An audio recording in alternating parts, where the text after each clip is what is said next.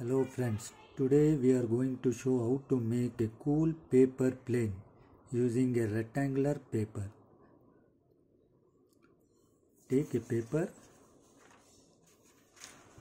fold it exactly to the center. Make the center line. Now watch it again so this is the center line. Okay. Now open the paper and fold the top side to the center as shown here.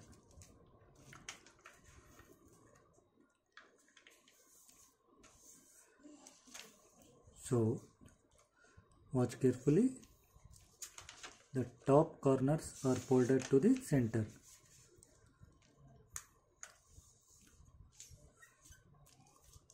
Okay.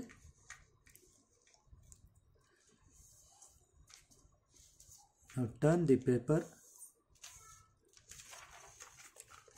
and fold it again to the center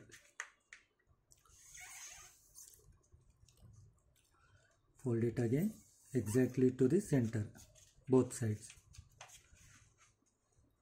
top corners.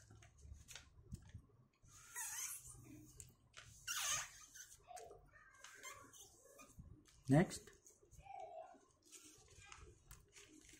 fold the entire thing to the center as shown here single fold then fold it again towards your inner side from the center then the remaining half fold it inward from the center to the inner side.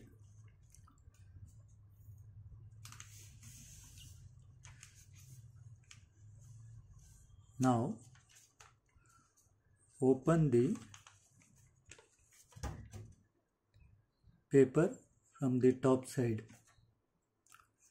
As shown here remove the paper which is folded inside. And here it is cool paper plane. You can watch it. So like it subscribe and share. Thank you